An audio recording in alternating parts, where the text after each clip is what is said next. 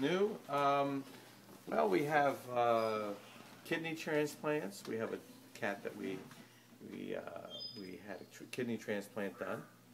So they take a kidney from a, uh, from a, um, a donor and put it in your cat, and then you have to adopt that cat. That's a, that's been going on a few years, but it's a, it's a, it's a nice, it's a nice thing that we can do today.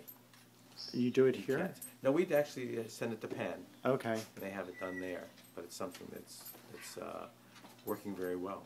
Now, how does a cat become a donor cat? Uh, that's, Yeah. uh, Oh, yeah. Oh, yeah. that's a cat usually, uh, that is from a shelter, Mm-hmm.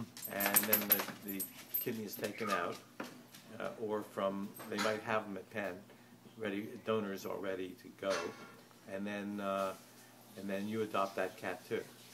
So that's worked very nicely. You adopt the donor And And- you, that's right. So you have two cats now instead of one.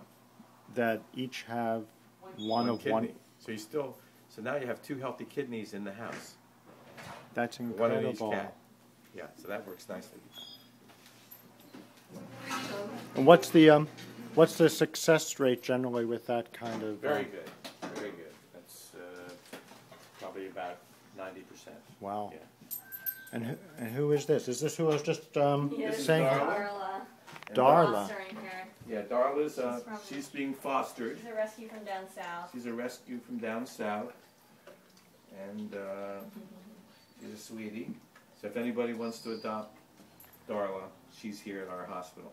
She comes with Julie, Comes our to work with me every technician. day. We're training her. Julie's our Housebroken. technician. You can get in the picture too. Oh. Yeah. And what do you have to do to um, make her ready for adoption?